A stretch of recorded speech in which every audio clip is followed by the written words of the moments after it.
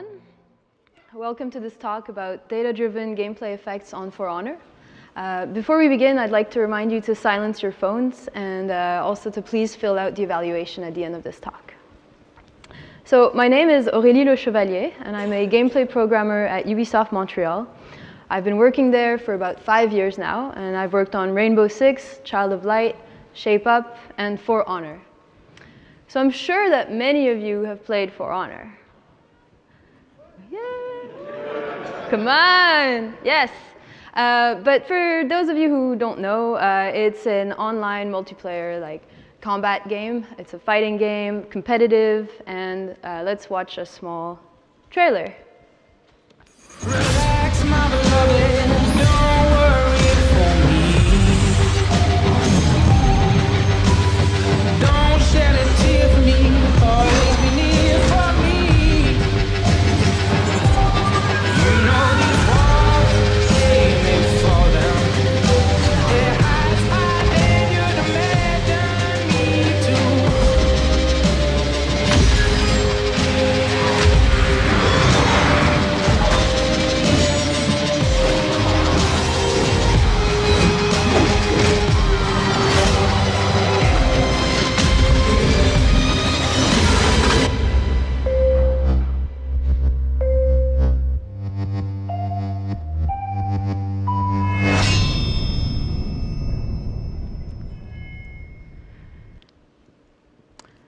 So what are the modifiers?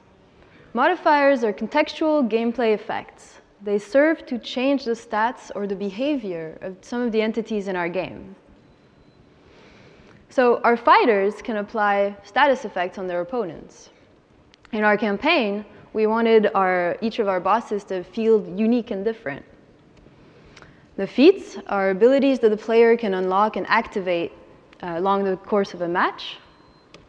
And finally, the gear uh, directly modifies the character's stats. So what's the problem that we were trying to solve with this, with the modifiers? Um, essentially, all the systems I've talked about are all very similar. They're all trying to affect gameplay in very similar ways. And originally, the system was developed for the feats. And so the feats, we knew that we were going to have about 72 unique feats, but we weren't sure what was going to go in those feats. So we needed to make our systems be very open and data-driven and allow for experimentation. So here was how we did it. Basically, entities in our game uh, have a handler, and that handler manages a list of modifiers. And those modifiers contain effects. Effects are gameplay blocks written by the programmers that go and change something about that entity. So the, the effects that you're going to need really depend on your game. But for us, this came into five major categories. So modifying stats, disabling capabilities, adding tags, removing modifiers, and creating new effects. So let's go over that. So modifying stats, uh, only by a certain percentage, so that's, that's how we did it. We come from a base value, and then we want to change it by a plus or minus some percentage. So in this video, we will see the Berserker activating the run faster feat. Uh, and so after that, they're, they're going to run faster, about 50% faster. So this is one example. So capabilities are actions that the entity can do, like going on a ladder, doing an attack, dodging. By default, all the capabilities are set to true, but the modifiers can come and disable them. So in this video, we'll see the Peacekeeper, and the player is spamming the dodge input. But we don't want the, the character to be able to dodge too often, because that would break the game. So at the end of her dodge, we apply a modifier that disables her dodging capability. So despite her pressing that button, she can't dodge right away. So adding a tag, these are labels that say that the entity has a certain property or status. Examples of these are being in stealth mode, being stunned, or being uninterruptible. So in this video, we will see the warden uh, throwing a stun bomb at his own feet and stunning himself. You'll notice that the UI gets hidden And there's a post effects that makes it harder to see what's happening in the game. This is done as a modifier. So an important feature for this system to have was being able to remove active modifiers. For example, when we heal, we want to remove any poison effects. So this is exactly what you'll see in this video. The Orochi is going to activate his poison feat and poison the warden. The warden then runs to the nearby capture point to get healing and remove his poison effect.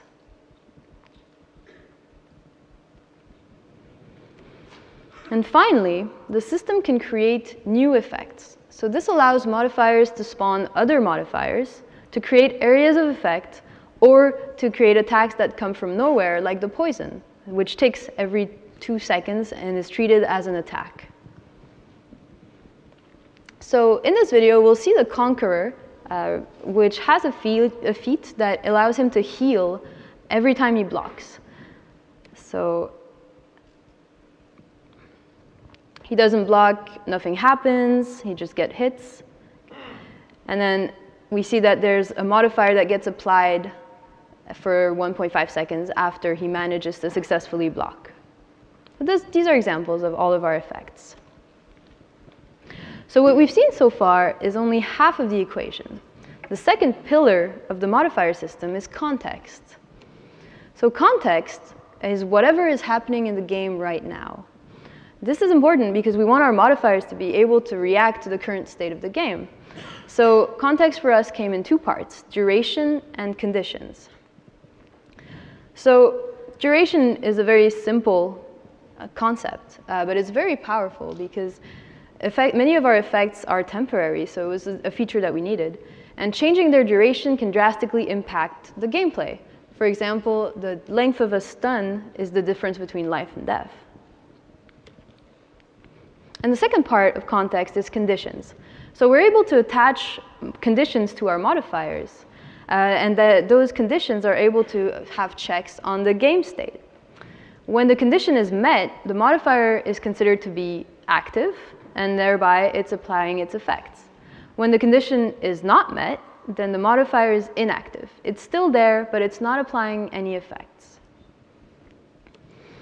And what's cool is that we can combine these conditions with logical operators like and, or, and not. So for example, our capture points by default give one point per second while they're captured by a team. But we have a modifier on them that says, that has a condition saying if it's captured and we have a player in the zone, then we double the amount of points that we give. So our modifiers can also be applied on other entities like the capture points and NPCs and interactive objects. So some of our most common conditions on For Honor, I'm going to go through two of these. Uh, one of them is the action state condition. So this is whatever the player is currently doing. What movement state are they in? And what's really powerful about this one is that we were able to check the clip type that they were currently uh, doing, so their animation type that we saw in Katana if you went to the previous talk. Um, and so this, this gives us a, a, whole lot of detail on what the player is doing. And it's easy, uh, it can be dynamic, so it's easy to, um, for designers to, uh, to tweak. So in this video, we will see the Lawbringer. And he has a modifier that makes him uninterruptible while he is reviving a teammate. So that, that condition is on the revive action. So we can see that he didn't react to getting hit, but when he stopped doing that action, then he can have hit reactions. The second major uh, condition that we use is the attack condition. So the attacks are really the core of our game. So it made sense for us to have something, to have the ability to check details about this. So we can check if we are doing or receiving an attack, we can check the attack properties, if it's a specific move, and we can check the result. So was it a hit, a block, and who did I hit? So back to our Conqueror. This is not a video. this is just a screenshot. Uh, and this feat, actually the block feat, is a little bit more complex than I showed in the previous video. Uh, what happens in reality is that we have three modifiers for this feat. And uh, we want to give different amounts of healing back according to what type of attack the player blocked. So if we blocked a light attack from a player, we want to maybe just give him 10 hit points. But if he blocked a heavy attack, maybe we want to give him 20. And if he blocked something from our low NPCs, our soldiers, then we want to give very little, maybe just two. So one last thing. I already hinted at it uh, previously, but just to be sure that it's clear, we can apply modifiers on other people as well. So the modifiers are on the entity, but there's times where the entity interacts with other entities. For instance, when I'm doing a revive or when I attack somebody. And this provides an opportunity for us to apply modifiers on that other person. So an example of this is for the poison effect, which you already saw, but let's show it from the other side. I activated my feat, and now the person that I hit has a modifier that's making them bleed over time. All right, so, so now we've seen what the system can do, let's look at what this means in terms of production. So uh, the system was very versatile for us uh, because the conditions and the effects are all modular blocks. So we can combine and reuse them in interesting ways to create complexity. So let's take, uh, for example, I have a damage boost effect. And if I combine it with an on capture point condition, then I've got a sort of defender feel to my modifier. I can reuse this exact same effect with a low health condition. And now I've got a sort of last stand, maybe berserker effect. And finally, if I use this damage boost with a condition that says that my attack was blocked, I get chip damage. So this is very powerful, and it actually enabled us to create generic effects. I just have a damage, speed, and healing instead of having a damage when low health, damage when bleeding, and then having a whole bunch of if conditions inside the code.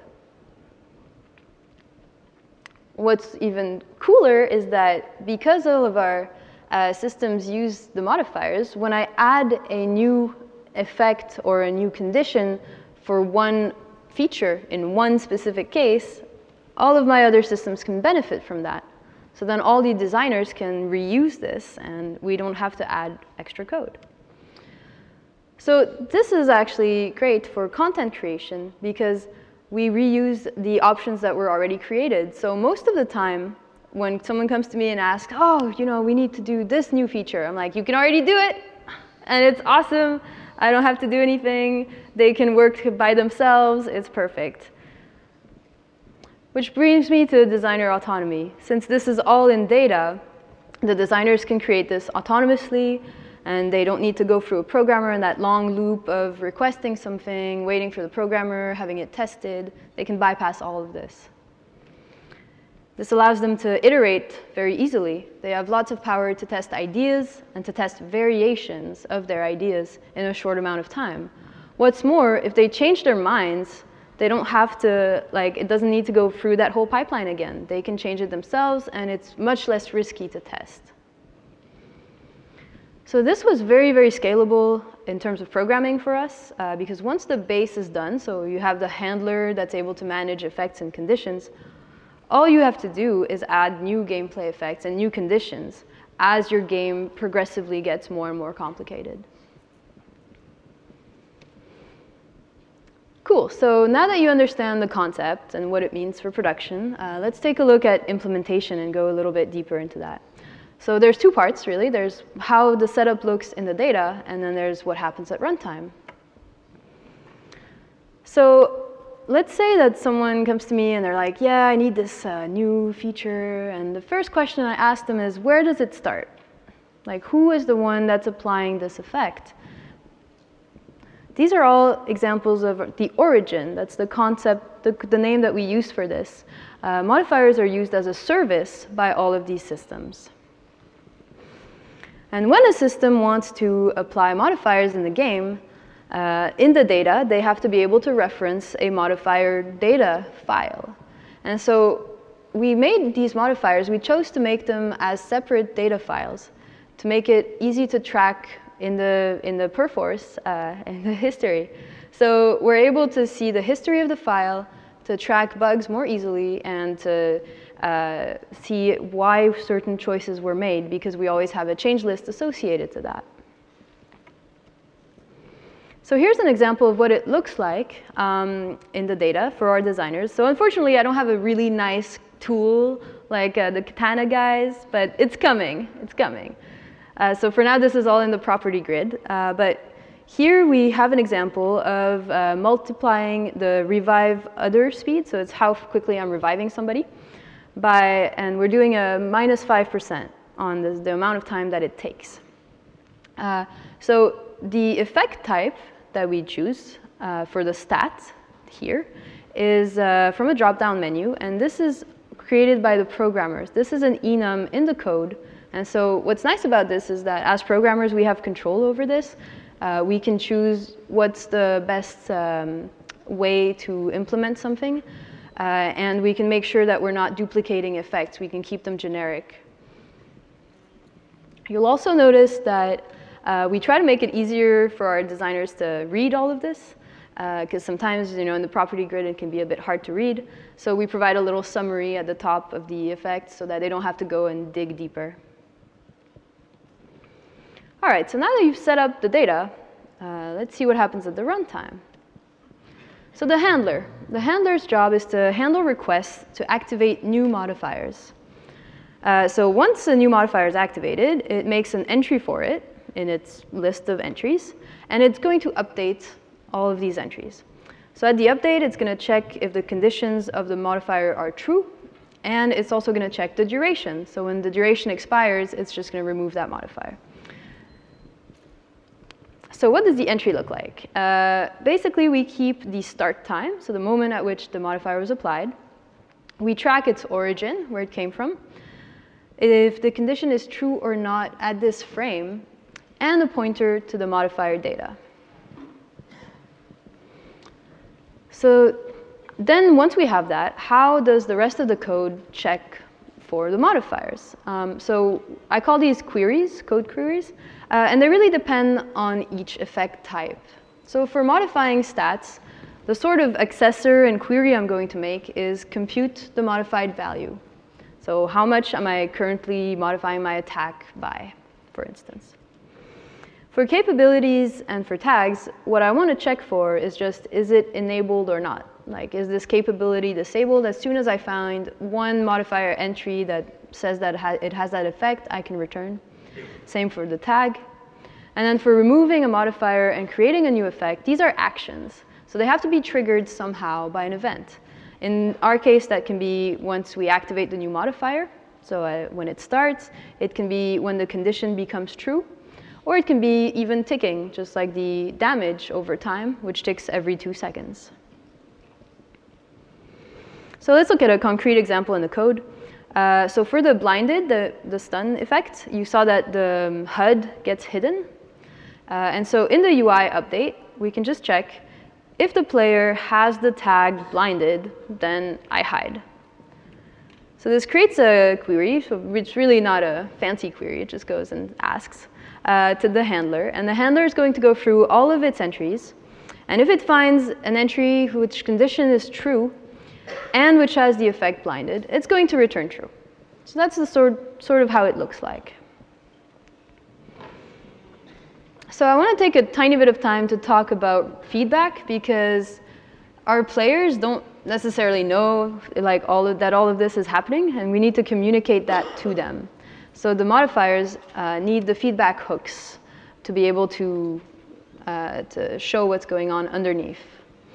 So we have three types. The most basic one is alive. So alive is very simple. It's as soon as the modifier gets uh, created, as soon as that request is made, and it disappears at the end of its duration. So we would say start alive and then end alive. If the modifier is conditions, then we have the active feedback hook. So this is as soon as its conditions starts being met, we say start active and active. And then there was a sneakier one, which we didn't find immediately. This was effects applied. Because sometimes I want my, my cool effects to only happen when my modifier actually changed something in the gameplay. So let's imagine that I have a damage buff, but then I never hit anyone. Well, then it's not very cool. Like my modifier didn't actually change anything in the game. So I want maybe some special effect for that. And what's really cool about this effect applied is that we can send a callback to the origin system. So in the next video, we will see that uh, in this case, we want to give a callback to the feat system so that we can uh, have some feedback in the HUD as well as on the player sword. So this is a feat that heals the player every time they kill an NPC. And we can see that we have feedback both in effects on the player and in the bottom, uh, bottom left in the UI.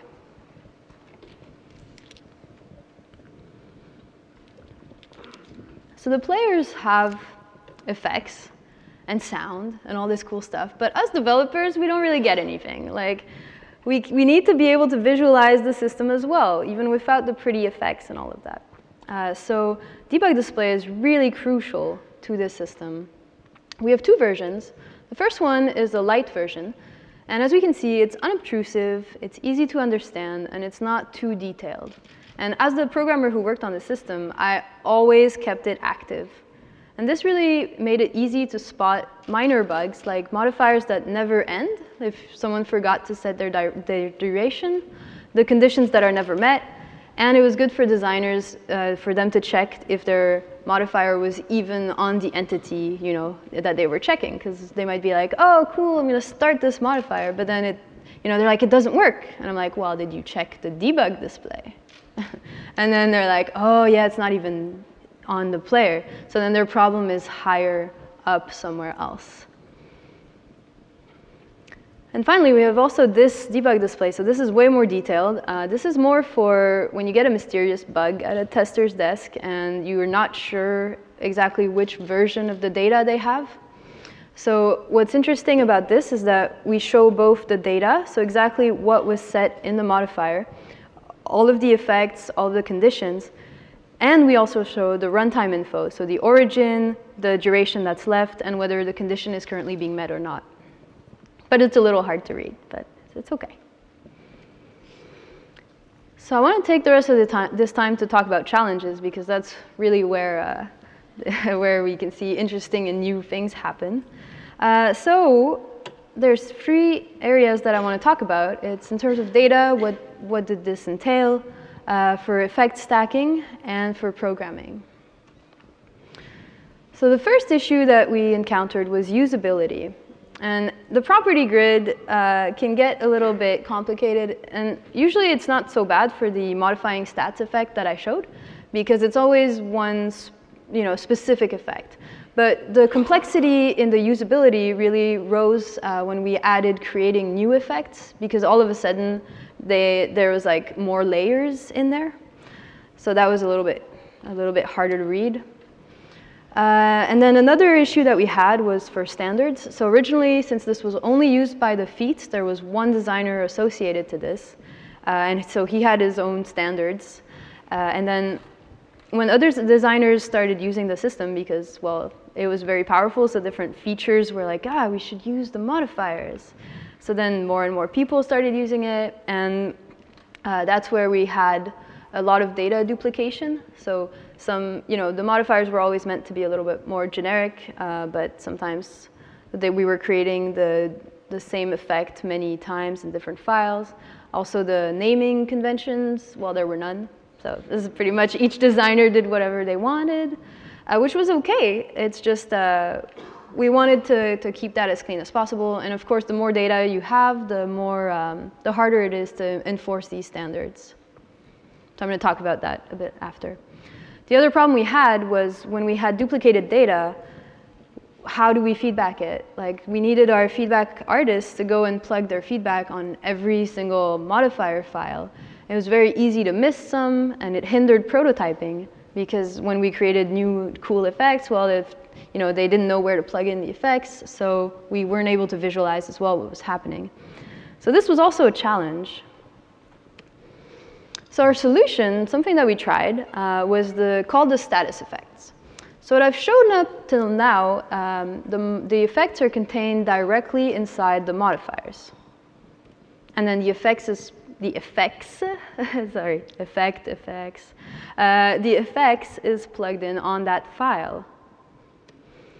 So what we did is we extracted all of the effects and we put it inside a different structure that we call the status effects. And the idea is that all the modifiers could reuse that. And the status effects were supposed to be uh, set up just once in a very generic way. So damage, boost, you know, very standard.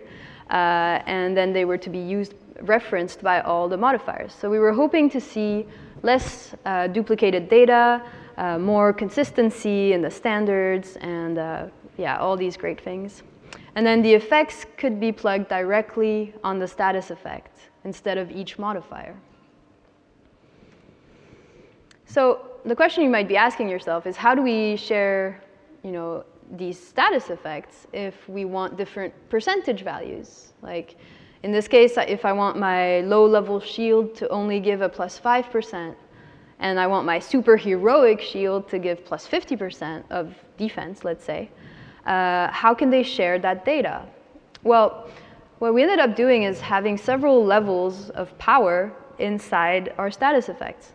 So the, the lead designer, the designer would, uh, would set up all of these levels, and then the modifiers would reference a specific level of a modifier. So was this a success? Sort of, sort of. It's not perfect. Uh, so it actually worked pretty well for some, some designers, uh, mostly like the designer who helped me make the system. It was very clear to him. Uh, but I think we didn't actually do a very good job at teaching other designers how to use it. So, uh, so there was a bit of a problem there, and I think better tools would have helped with that. So for the designers that were that understood it and used it, it worked fantastically well. Like uh, for the feats, there's you know what you want to see is only like 20 status effects and 100 modifiers. That's the ideal. Uh, but for the designers who weren't using that, it ended up just being an extra layer of complexity for them, and they didn't really understand why they needed that. So mixed. The next topic I want to talk about is how to stack effects together when you have effects that are coming from so many different origins. So at the beginning, we were doing it very naively. Uh, we were adding up the stats modifi modifications together. So if I had a modifier that said plus 40% damage, and then another one that said minus 15% damage, my total would be 25%. Makes sense, right? First problem we encountered was busting our like limits uh, of like OP. this was way too powerful. We quickly went into that realm. Uh, so the first thing we introduced was a min and a max. Uh, pretty standard, right? And so what's interesting about this too is that we had different mins and maxes by stats that we wanted to be able to modify. Because maybe I want to be able to revive someone a thousand percent faster, but I never want my damage to be more than like 200%. So it's interesting to have this ability of changing that. Now the second more interesting problem that we had was how to deal with different origins. So let's say I'm playing the campaign and I've got a boss uh, that does 10 damage normally. But I'm playing the campaign in easy mode. And let's say that means that he does 80% less damage. So that would be 2 damage. But now, if he activates a feat that gives him plus 50% damage, how do we stack these? So the naive way would be minus 80 plus 50, which is negative 30, just 7 damage. Now that's kind of weird, because my boss was hitting at 2, and now he's hitting for 7? Like, what was this, you know? Uh, so we had to do something a little bit different. What we ended up doing, and the correct way that we wanted the system to work, was to apply the 80% first and then the 50%. So that gives us 2 and then plus 50% free. So this led us to introducing the concept of core versus external modifier origins. So core was the gear, the campaign, and the AI archetypes. It's anything that's really intrinsic to the character and that's not going to change along the course of the game. And for external, that was the feats, the boosts, and the missions. These are dynamic. We want these, these can change, and we want our players to know about them, which also leads me to feedback again. We did not want to feedback the core modifiers, but we wanted to feedback the external ones because the player needs to change their playstyle when that happens. So we need to, again, communicate that. So was this concept a success? Yes, yes it was. Uh, so it worked well on the player side. They understood when they needed to change their playstyle. On the data side, this also enabled us to reuse the same status effects and even the same modifiers because we were able to do that. And it made it easier to balance the campaign and the gear because we didn't have to worry about the relative power of modifiers.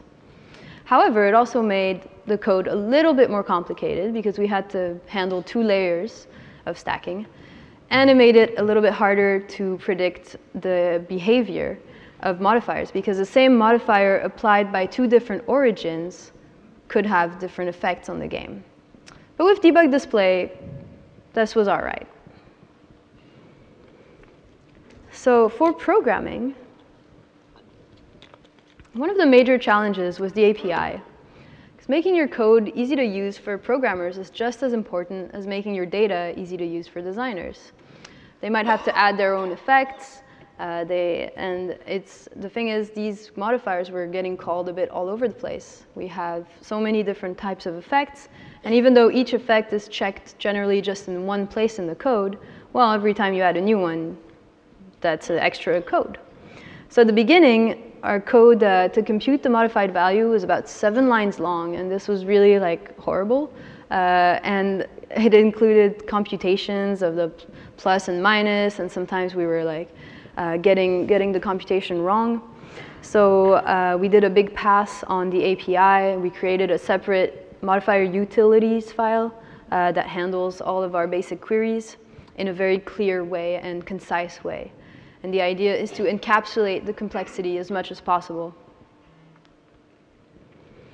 So data-driven is always a challenge for programmers because we don't like giving up control. And uh, I understand. but uh, in this case, in general, it worked out very, very well for us uh, because the effects were always checked in one place and it was not very complicated uh, what each effect was doing. So generally, it was fine. The one case where it was problematic was when we were trying to compute the amount of bleeding that was going to happen. And now, this seems like a silly example, but it's it, like this function to compute that little red bar is like 100 lines long because we have to go through all of our modifiers and then check inside their status effects and then check each of their effects like, okay, is this a looping attack? Oh, good, that's a poison effect. But then you have to go back and check how much time is left on my modifier and then you have to add all of those together. So this was a bit inelegant, and I hope that, you know, it's, it's bound to happen if you have to go and peek inside that data to do things. Another note on the poison and damage over time effects. Uh, so we realized that we were going to need to add an extra feature to our modifier system. So let's say this uh, enemy here is uh, really mean, and he's applying damage over time, and he's like, haha, now you're poisoned. So I start bleeding, two damage, two damage. And now he gets a damage boost. So the, like I said, the damage over time is treated as a normal attack. So how do we figure out that, like normally, that the damage boost would be applying on the bleed? But that wouldn't feel good because, you know, it's, it's over time. So 10 seconds after, if he gets a damage boost and I start bleeding more, I'm gonna be like, what happened? It's really hard for the player to read that. But we still want the damage to apply if the boost happened before the bleed. So what we ended up doing was introducing the concept of snapshots. So uh, the, each effect can say, oh, I'm going to require a snapshot. And we're going to store that in the modifier entry. And we take it as when we create, when we activate a new modifier. At the beginning of that, we're going to take a snapshot of the current modifiers uh, uh, affecting the attack of the attacker and the defense of the victim. And then when we go through that attack code, we're going to use the snapshots instead of the current modifier state. So optimization. As you might have noticed, we do polling on this system. And uh, we have about 3,000 queries per frame because of all our different 200 uh, soldiers and then eight players. So that can be a, a bit much. Um, so we had to optimize it, especially at the end, of course.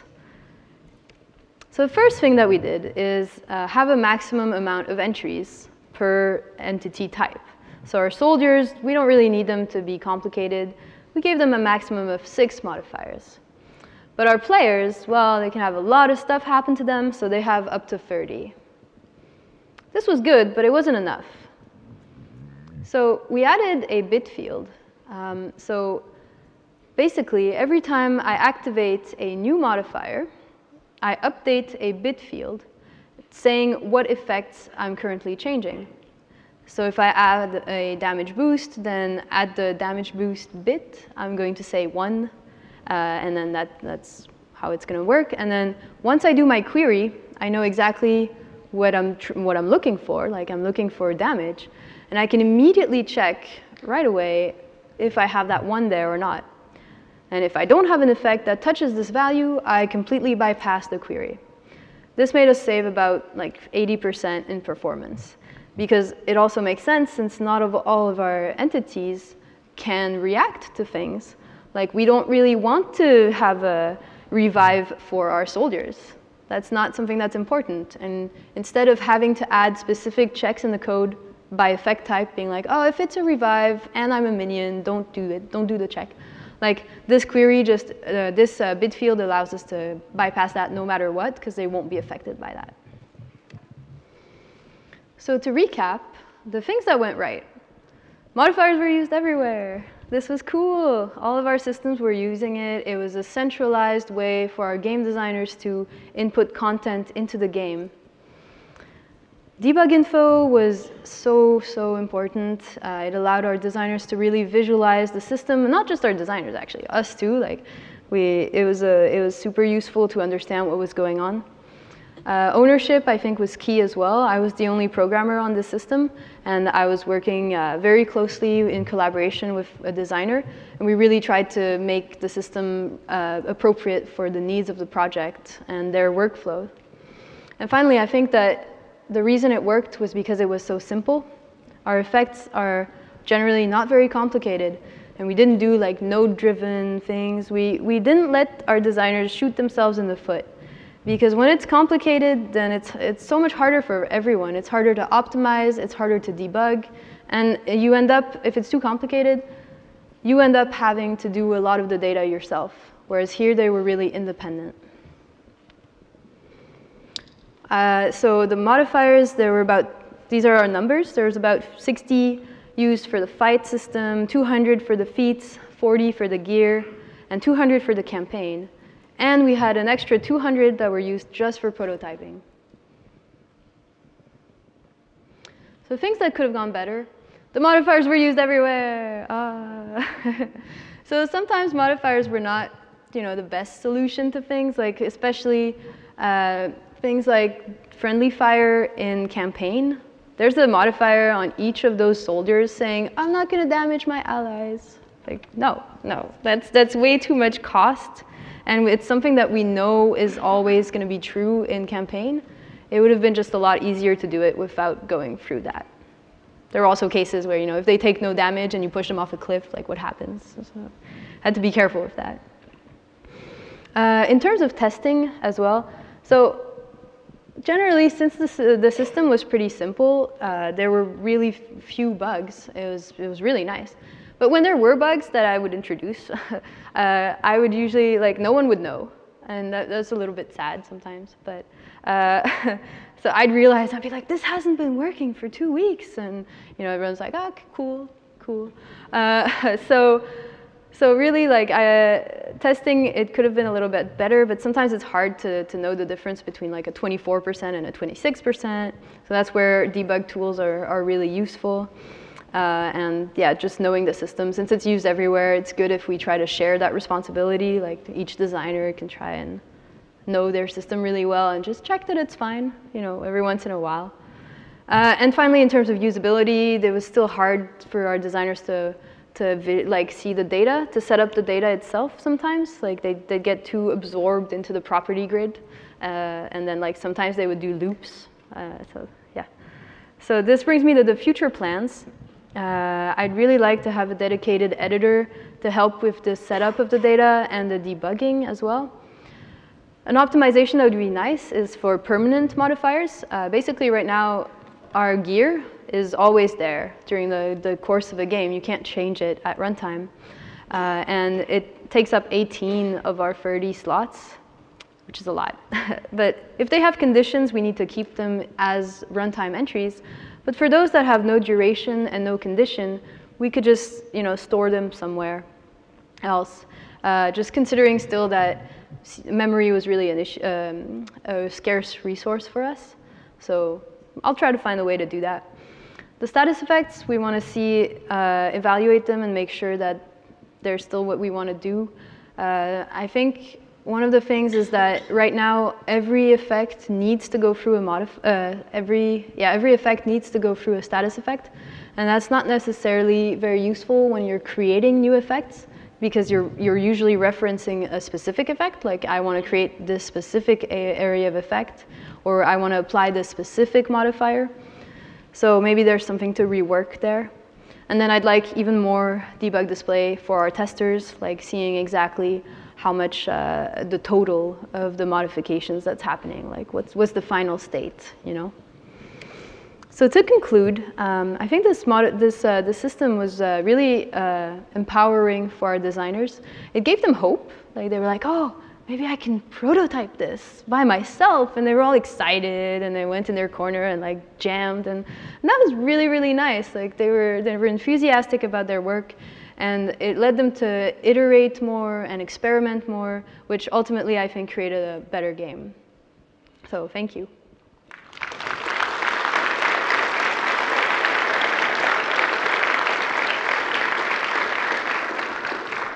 Is there time for questions? I don't know. Yes? Okay. A one? Okay, cool. Thanks. Yes? I went to the previous talk. Yeah? And he had the, the simulation is deterministic. Yes. And so it, it would backstep because of inputs and everything like that. I'm going to assume that had a huge effect on your modifiers. Uh, so because of damage over time, it has to be backed out and then recalculated and backed yeah, yeah, out. Yeah, yeah. That, that's a great question. Uh, so actually, we were we were really lucky because so there is a history buffer for right. the modifiers as well. They're all stored in a in a deterministic yeah. list. So when we go back in time, we just go back to that stage and then like so we revert the health, we revert everything. But all the modifiers had to be kept track of and everything, and then you had to maybe change which ones are applied and. Yeah, yeah. Um, Oh, wait, can you repeat that? Well, I mean, because well, I mean, because the timing of things are things. So yes. somebody, so you find out that somebody applied and hit a button that caused an ability that removed a modifier. So the modifier you'd already calculated. Turns out it didn't happen in that yes. frame because now it's been removed, and that changed, anyways. No, no, that's a great question. Uh, so, so since since it is in a in a state when we roll back to a previous time, everyone's going to be in the right modifier state. So yeah. if, if, they, if it turns out that that modifier got removed, then we're, when we roll back, it's still there. And then we can re-simulate all the steps yeah. And come back to the, to the same conclusion. So it's, it, we were so lucky with that, with the, the way our simulation was made. We, as gameplay programmers, we almost didn't have to ever think about those sorts of so cases. So it just kind of worked for you? Yes, it was great. Okay. Thank you. yeah. Hi. Um, you said you had problems with testing. Yeah. Um, did you do any unit testing? Unit testing. Uh, so we're actually starting that. yeah. Uh, we're, we're, we didn't do any yet. Uh, and I think that could have helped like so much really, mm. especially when the system you know became more complicated, like all these different origins and yeah, exactly. the stacking and all of that. That could have been so useful. Yeah. So I think it's definitely something that I want to add Okay, and I have a, another short question. Um, because of these handlers and these arrays and bit masks and so on, um, have you considered uh, using an entity component system to actually code the whole game, which would have solved all of your problems? Uh, what do you mean?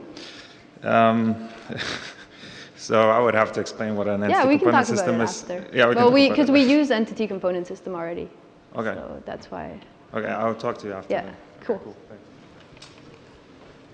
Hello, I have two questions about the uh, modifiers. Uh, I uh, several years ago I developed a s- similar system before. Uh, I, I made uh, two. Uh, I think it's a little hard. One is some effects depending on the resource you use, the entity you use. Because some, for example, some boss, some monster is very big, is very tall, and some is very small. And the, uh, if you the same the same modifier uh, will attach or same um, particle in special uh, bone, but the two different uh, monster have a different uh, uh, skeleton. So uh, how do you deal this? Another question is, how do you say? If two, for example, if two daughter modifier take uh, mm, in the same entity, and then do the same thing, and the same thing will conflict with each other. For for example, then play the same animation or change the same parameter of materials. Yeah, okay, I see what you mean. Uh, yeah, so so most of our effect types they stack nicely. That I forgot to say that. Um, but uh, so basically, we try to avoid that problem. Uh, so the when we disable capabilities, it's always disable them. So the capabilities means that you can't go into a certain animations. So it's always um, it's always negative. So it's it doesn't matter. Uh, the same for like tags. Basically, we don't have any conflicts except uh, except for the the modifying of stats. You know, so adding percentages together, but we don't have effects that that conflict otherwise. Okay, thank you. Um, I, well, and it, actually, the, there was a slight version of that. You know, when we were, what happened is we had a health regeneration and the damage over time at the same time, and that was really hard for the player to, to read and understand. So that's why we introduced the concept of removing uh, modifiers. So that way I can say, oh, as soon as I start healing, I remove my damage over time. So we sort of bypassed it. okay, thank you. Was kind of curious how you handle uh, balancing all of your effects across from each other uh, for your designers because I didn't really notice any system for actually like looking at in bulk multiple items and like stacking them up and all that and I know I could never get our designer out of Excel because Yeah. of that very reason. Yeah, that's a very good question. How do we handle balancing? Uh, so we don't have an official process, but basically we try to get designers to talk to each other. It's that it's really that simple. Uh, so we and we they really do talk a lot. It's nice because yeah, we have the the gear. Yeah. Excel, Excel Hammer? Yeah, okay. So there's also an Excel version of uh, adding these modifiers to vis- help visualize uh, all of the different levels. So for our gear, for instance, we, you know, it can be hard for a designer to like keep track of opening each data entry and being like, okay, how much is it? So they can actually uh, export that and import it back in Excel, where they have a pretty good view of it. Uh, but then for stacking between different types, well, we just we ask them to talk to each other. And, Uh, hey, uh, great talk. Uh, I'm currently uh, using a similar system, even if it's a bit less, less evolved. Uh, and my question is, um, have you ever encountered the, the issue that you have a modifier that turns a feature on and off, that enables something or disables something, and then the assets that you need for this feature uh, needs to be baked or cooked in the game. So uh, since it's all data driven, did you have to manage uh, this in a special way or not?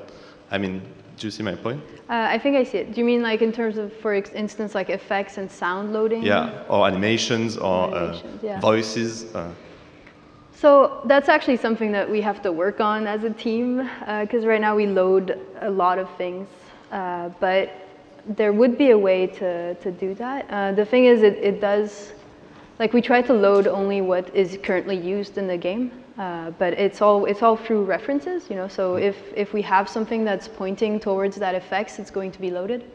But right now, the problem is we load all the, all the Yeah. parent things. You just uh, reference everything, so yeah, you don't so, have the problem. Yeah. So for instance, the, the feats right now, even though you can only equip four in, in game and you can't change them, we're still loading all of them for all of our characters, which points to a lot of effects and sound data.